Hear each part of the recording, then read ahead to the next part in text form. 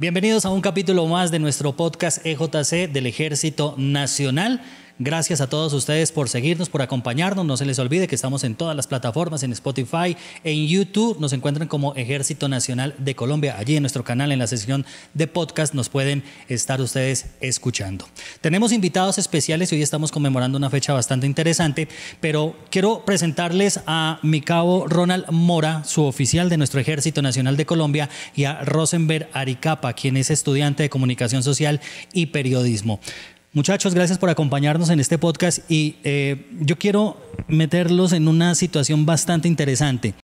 Vamos a simular que ustedes eh, reciben una orden de operaciones militares donde les van a decir lo siguiente. Tienen que ir a rescatar unas personas, pero ojo, van a ir sin armamento, las condiciones eh, climáticas y el terreno son bastante adversas, es una parte selvática muy complicada, no van a tener apoyo, Ojo con esto, no van a tener ustedes la capacidad de reaccionar rápidamente con eh, otras unidades y eh, va a estar lleno de enemigos por todo lado. ¿Ustedes qué opinan? ¿Se le miden o no se le miden? Mi cabo. Mi primero, teniendo en cuenta la información de, de lo que se va a hacer eh, y estar seguro de lo que se va a hacer, yo creo que sí me le mediría mi primero. Yo he escuchado en algunos momentos que se han logrado algunas cosas similares. Eh, de pronto aportaría con mis habilidades oratorias y me le apuntaría para marcar la historia. Pues muchachos, básicamente eso fue lo que sucedió hace 16 años. Hoy estamos conmemorando 16 años de la victoriosa operación Jaque y hemos traído un invitado de lujos. Les hablo del señor sargento mayor de comando, ya hace parte de nuestra reserva de los veteranos de la Fuerza Pública. Él es el sargento mayor de comando veterano Luis Javier Hernández. Mi sargento mayor, muchas gracias por acompañarnos. Bienvenido. Bueno, no, a ustedes, a mi ejército, un saludo y qué honor estar aquí representando a esas 25 personas que durante meses trabajaron para hacer posible esa hazaña. Entonces, eh, entender lo primero que todo, que soy uno más, escogido por Dios, y hoy, gracias a Dios, vamos a contarles esas anécdotas, muchísimas cosas que aún, incluso hoy, 16 años después, no se conocen de esta maravillosa operación, que es de todo nuestro ejército nacional. Vamos a empezar con mi cabo Ronald Mora, su oficial de nuestro Ejército Nacional, quien tiene preguntas para mi sargento mayor. Claro, sí, señor. Mi sargento mayor, ¿cómo está? Me presento y novedad especial. Muchas gracias. Es, es un placer, créame, que, que estar aquí con usted. Mi sargento mayor, la primera pregunta que le quiero hacer fue, ¿su familia sabía que ustedes iban a, a, a ingresar en esa operación o nadie sabía, nadie sabía nada de, de que ustedes iban a estar en semejante peligro? Bueno, aquí hay que arrancar, eh, Ronald, diciéndole que también siento mucho orgullo cada vez que veo ese ejército y ese helicóptero de nuestro ejército surcando los cielos, llevando esa ayuda humanitaria, eh, que no solo se traduce hoy en libertad, sino se traduce también en esperanza del pueblo colombiano, porque eso es lo que refleja este ejército bicentenario, la esperanza del pueblo colombiano. Y respondiendo ya a la pregunta, decirle que mi familia sí sabía. Ahora, hay un contexto dentro de nuestra inteligencia militar y es que nadie debe conocer o la familia no debe conocer lo que uno hace. Pero resulta y pasa que para la operación Jaque nosotros no teníamos las radistas que necesitábamos para suplir, para suplantar todas las comunicaciones de las FARC, porque incluso también era fundamental la ubicación. No todos podíamos estar en el mismo sitio. Eh, tenemos que contextualizar de que esto es una operación de engaño a gran nivel. Suplantar todas las comunicaciones de las FARC, suplantar todo un Estado Mayor no es fácil y toda la ayuda que fuera posible, bienvenida. Y que es más que de las mismas esposas que quizás sin saber el contexto, ya de pronto no tenían el contexto total de lo que se estaba haciendo, pero sí sabían que era una operación de rescate. Para contextualizar un poco, las radistas son las que manejan las comunicaciones, los radios. Sí, las radistas son el eje fundamental de una cuadrilla. De hecho, podemos eh, evidenciar que la mayoría de veces, casi que el 90% de ocasiones, la radista es la amante del mismo cabecilla. Y la coloca ¿por qué? Por la confianza que tiene y por toda la información eh, que maneja esa, eh, ese canal, las comunicaciones. Entonces, el, el ser radista dentro de las FARC, dentro de cualquier estructura terrorista, digamos que obedece a unas condiciones fundamentales de confianza, de credibilidad y sobre todo un plus que es que la que tiene interacción con todo lo que es el contexto exterior. Esa era también básicamente una instrucción que les dimos a las esposas de manera muy rápida porque debemos decir también que esto se hizo sobre la marcha, son ajustes que se hicieron ya en el desarrollo de la operación eh, exactamente el 31 de mayo hicimos esos ajustes. Sargento, gran admiración para estas esposas que de verdad tomaron la decisión de estar participando en esta operación, porque pues estaban en una línea muy delgada. Aquí podríamos hablar si ustedes eh, de casualidad de repente tenían algún plan B o alguna alternativa donde algo saliera mal. Eh, para algunos eventos sí se tenía plan B. Ejemplo, en el tema de las comunicaciones, si se dañaban equipos, si había que reemplazar a una persona, porque vamos a suplantar, vamos a decir que, listo, nuestra esposa nos colaboran. ¿Qué tal si una de esas esposas eh, en algún momento sufriera una enfermedad, eh, algún contexto familiar que le impidiera salir, como nos suele ocurrir en el común de nuestras personas, porque estamos hablando de que duramos meses haciendo la operación. Entonces, digamos que el plan B era buscar otra persona que medianamente pudiera suplir ese contexto o buscar otros equipos que nos permitieran contrarrestarlo o cambiar la estrategia incluso que manejábamos dentro del engaño. Pero habían eventos que no tenían plan B. ¿Cuáles no tenían plan B? El hecho de ser detectados. O sea, en el momento en que se está haciendo una suplantación y usted detectado, ahí ya no hay plan B. El único plan B es abortar todo y sacar a las personas que están inmersas, hacer una, una salida forzosa de todos los que están dentro de las estructuras eh, para garantizarle la vida eh, básicamente es una, una, situación de emergencia que se contextualiza. Y cada uno de los que estábamos en la operación sabíamos y teníamos claro que los riesgos, así como se los planteó mi primero cuando les dije ustedes irían a esa operación, pues uno dice, pucha, voy con el corazón, pero los riesgos que se corren son enormes. Y eso básicamente es lo que hacen hoy en día todos los soldados. Alguien me preguntaba en un escenario y le decía, mire, eh, los riesgos que nosotros corrimos no son diferentes a los que corren hoy los soldados que están en el Cauca. Mi sargento mayor, ¿cuáles fueron esos peros? Te nace la idea y dicen, bueno, vamos a, rescatar a, los secuestrados y empiezan, pero qué tal, pero si no, pero ¿cuáles fueron esos peros tan eh, importantes que se presentaron en, en, su momento? Los primeros peros están en que, ¿por qué vamos a utilizar helicópteros?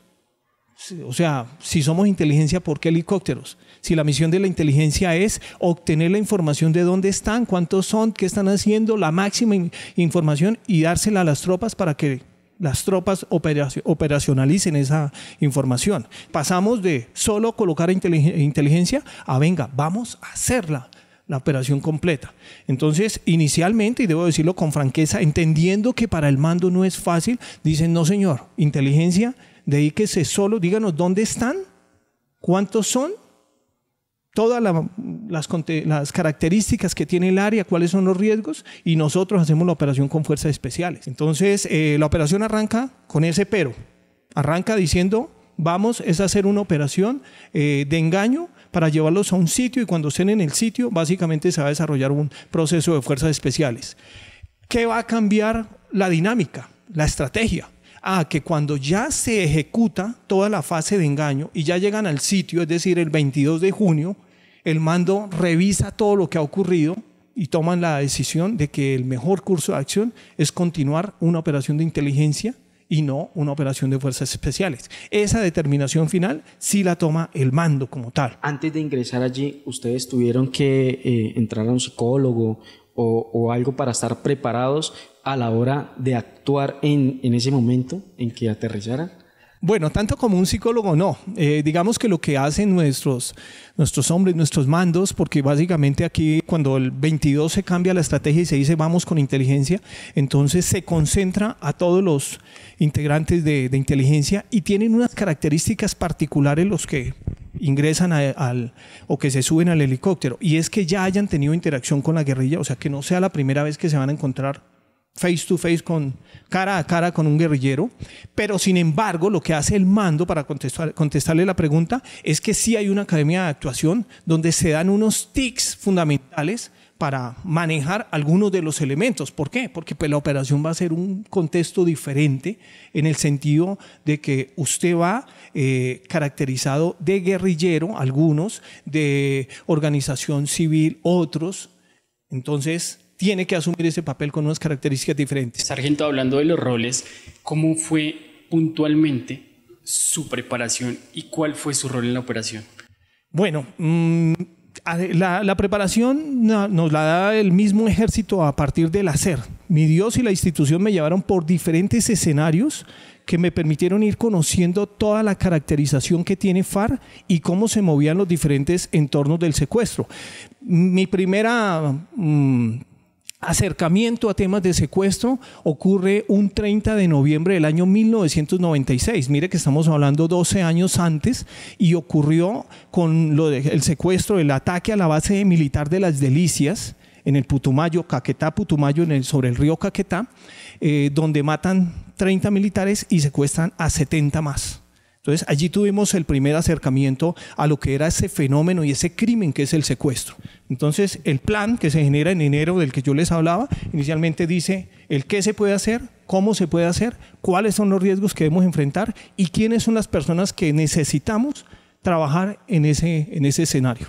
Cuando eh, vemos los videos una y otra vez, vemos obviamente los secuestrados muy angustiados, ¿no? Uno de ellos, el teniente Malagón en su momento, ya coronel Malagón, donde hablaba muy desesperadamente y también escuchábamos algunos de los eh, norteamericanos que en inglés pues se negaban como a subirse, ¿no? Al, al helicóptero. ¿Qué hubiese pasado donde, eh, digamos, mi coronel Malagón en su momento, teniente Malagón, diga, no, no me quiero subir? Bueno, allí hay que tener en cuenta dos eh, líneas de acción.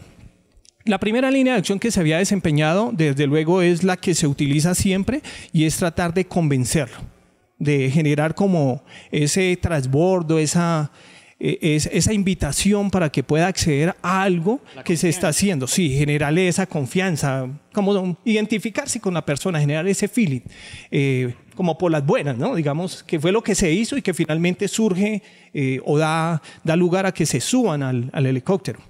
Y la segunda es ya la línea que corresponde a las FARC y es la línea militar. Ahí hay unos mandos, entonces decirle, César, venga, los secuestrados son, están a cargo suyo. Su misión es llevarlos. Entonces César lo que le había dicho es, se suben o se suben. Entonces el plan B principal es, César, su misión es entregar los secuestrados al sitio donde van a ir. Por eso César se sube convencido de ese helicóptero. Nosotros nunca le quitamos la responsabilidad de los secuestrados a César. Hay que decirlo claramente, la responsabilidad siempre estuvo en César y en Gafas, que eran los dos responsables de llevar esos secuestrados al sitio. Mi sargento mayor, yo me doy cuenta de que usted cuenta eh, la historia de la operación Jaque con una emoción, como algo bonito que ha pasado de pronto en su carrera militar y que es orgullo si me hago entender, haber pertenecido a esa operación. Pero, pero yo quiero saber eh, cómo supieron tanto de ellos, cómo supieron tanto de la guerrilla. Bueno, aquí hay que decir que lo primero, uno de los factores de éxito de una inteligencia es la continuidad. En el momento en que se desarrolla la operación Jaque, yo llevaba trabajando con mi equipo, con el grupo que estábamos, 12 años. 12 años con las mismas personas. Ese es el primer factor de éxito que tuvo la operación, esa continuidad que nos permitió tener conocimiento. El segundo factor eh, es cómo nace. Entonces, eh, con esa continuidad viene un devenir, un día a día, y a veces en ese día a día nosotros también sentíamos frustraciones. Debo comentarles que para mí una gran frustración ocurrió ese 16 de noviembre del 2004 porque tuvimos todos los secuestrados en un sitio y yo dije, gracias Dios mío, porque aquí es la operación donde los vamos a rescatar. Todos los secuestrados concentrados en un sitio que se llama Pollo Gordo.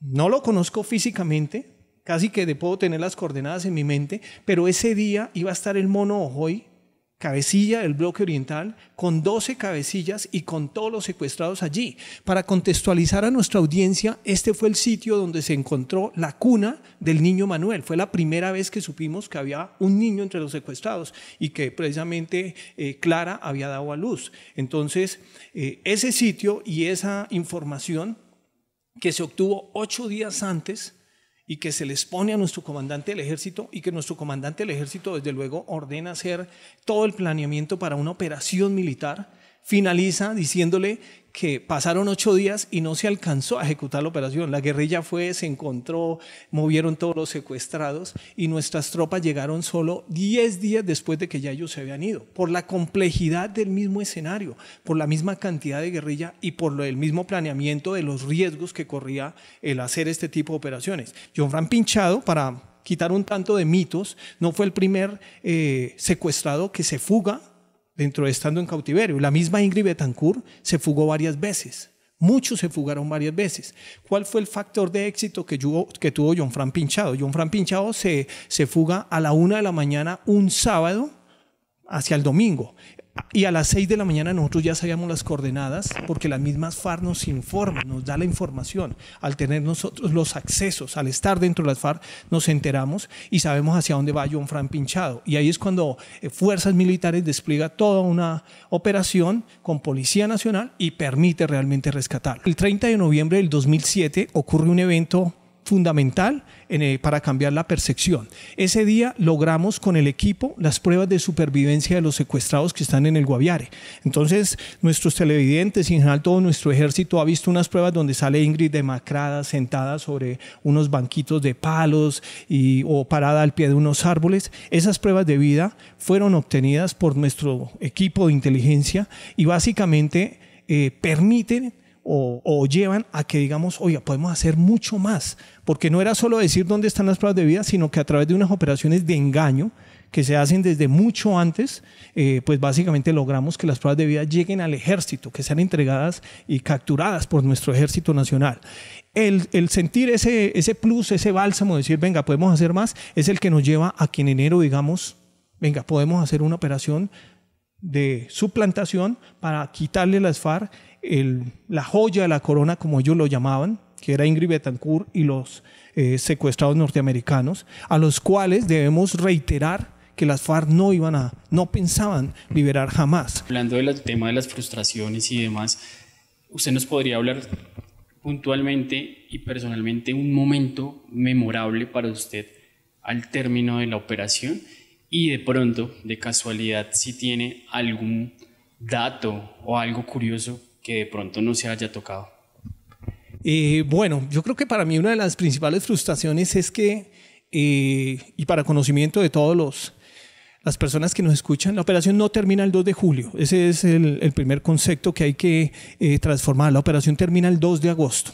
Nosotros seguimos desarrollando la operación de engaño, seguimos al interior de las FARC hasta el 2 de agosto. El 2 de agosto extraemos a todos nuestros hombres que están desarrollando sus distintas misiones de engaño, de suplantación, de obtención de inteligencia.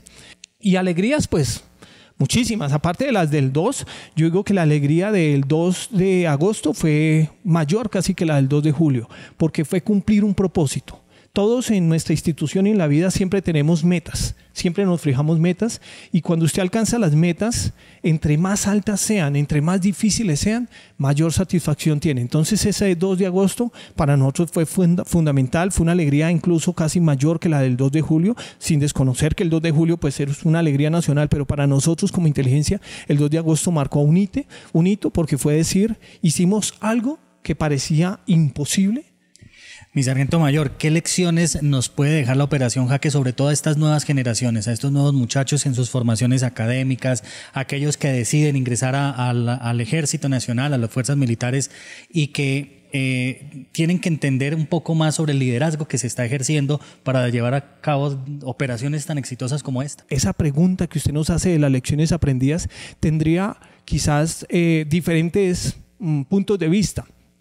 Uno de ellos es que surge y se materializa a partir del compromiso. Yo debo reconocer el esfuerzo y el compromiso de todos y cada uno de los hombres que participaron en esa operación, en las diferentes instancias, incluso el mismo mando, porque lo más fácil siempre va a ser no hacer nada, siempre, lo más fácil es sacarle el cuerpo y no hacer nada. Pero allí había un gran componente y era de convicción, de querer, de hagámoslo. El riesgo es alto, yo les tocaba a ustedes y hablamos de cómo vidas humanas, tanto de los secuestrados como de las mismas personas que estábamos inmersas en diferentes facetas de la operación, se va a correr riesgo. Algunos más, otros menos. Pero eh, Esos riesgos se mitigan en el sentido también cuando usted quiere esa vocación. Por eso cuando les preguntaron a las personas, ¿quieren ingresar? Esa convicción de decir, yo entro y asumo los riesgos, es lo primero que queremos resaltar. Entonces, generaciones de hoy, de todas las profesiones, el querer transformar este país está en cada uno de nosotros. Desde ahí surge realmente la transformación institucional, el querer. El segundo es la iniciativa siempre la iniciativa disciplinada, como lo enmarca nuestra doctrina y nuestro manual de liderazgo, va a ser fundamental, porque la iniciativa es la que nos permite evolucionar. Y el tercero, lo enmarcado usted, y es esa palabra liderazgo. El liderazgo no siempre es estar eh, hablando, diciendo, haciendo cosas. El líder muchas veces es callado, muchas veces no habla, pero es el que asume los riesgos y el que asume el papel preponderante en el momento que le corresponde. Los que tenemos mando siempre vamos a aprender de nuestros subalternos. El soldado más humilde es el que más cosas nos va a enseñar. Y en la, en la profesión, la persona que uno menos espere es la persona que más lecciones de vida y que más va a influir en nuestra transformación. La enseñanza final es el agradecimiento, porque el agradecimiento va inherente al corazón y a la satisfacción. Todos tenemos cosas buenas, todos tenemos cosas malas, pero enfoquémonos como nación en potencializar lo bueno que tenemos, porque desde luego que juntos podemos hacer más. Como institución podemos también construir muchas más cosas si nos enfocamos en lo bueno. Y muchas gracias de verdad por, por esta oportunidad. Mi sargento mayor, todo, todo lo que usted dice en ese momento, todo créame que está siendo grabado en mi mente para más adelante o en esos momentos aplicarlo con, con mis subalternos, con mis soldados y créame que usted ha, sigue encendiendo esa chispa en, en mi corazón de, de, de, servirle y que estamos en, en, el, en, el, lado correcto. Y muchas gracias, mi sargento mayor, por, por, por, todas esas palabras y esos consejos que, que, que usted nos ha, nos ha brindado el día de hoy. Y es decirle a los colombianos, Jaque también es de los colombianos, porque el ejército es de los colombianos. Un ejército bicentenario que a mí personalmente, siendo ya un veterano de, este ejército, me enseñaron siempre que trabajamos y servimos para el pueblo colombiano. Y eso significa que nosotros siempre hemos tenido el ADN de los derechos humanos, del actuar correcto que a veces también nos enmarcamos. Y Jaque tiene esa demostración. Mire que a veces no se analiza ese contexto, pero entró un ejército, porque lo que entró allá es un ejército con una capacidad de ejército. Y ahí había una guerrilla engañada, una guerrilla que lleva sus secuestrados, pero la misión de nosotros era quitarle los secuestrados, no hacerle daño a esos guerrilleros, porque no, básicamente no estaba en, nuestro, en nuestra misión, ni en nuestro contexto, ni era eh, lo que queríamos como institución, porque seguramente si se hubiera dado combate sería en combate, pero aquí no. Entonces, es la demostración de cómo desde el planeamiento y la ejecución siempre se ha respetado los derechos humanos. Y estamos hablando de un año crucial como en 2008 y esos eh, eh, guerrilleros que quedaron allá quedaron ilesos, intactos. Antes, durante y después seguramente hay muchísimos hoy vivos que pueden escuchar y vernos y dirán, oiga, sí, el ejército entró, vino aquí, se llevó los secuestrados, se llevó a César y a Gafas, que eran los dos secuestradores, los que más sufrimiento le habían causado a esos secuestrados, y se los llevaron para colocarlos a la justicia, para entregarlos a la justicia, pese a que iban armados, a que se subieron armados y que eran los únicos que llevaban armas en ese helicóptero. Eso es un ejército garante de los derechos humanos y es la demostración del ADN que nos inculcaron. Eso no fue que surgió ahí ni se hizo eh, no, vamos a hacerlo así para decir esto, no. De hecho, mire que han pasado 16 años y nunca se ha hecho énfasis en esa característica que tuvo esa operación de respeto a los derechos humanos de esos guerrilleros. Honor y gloria por siempre, mi sargento mayor, que es un lema muy bonito y con este lema queremos despedirnos, agradecerles a todos nuestros seguidores conmemorando hoy precisamente 16 años de nuestra operación Jaque. Nos despedimos con nuestro lema victorioso, gracias a todos ustedes por acompañarnos de patria, honor, lealtad. Ejército Nacional, patria, honor, lealtad.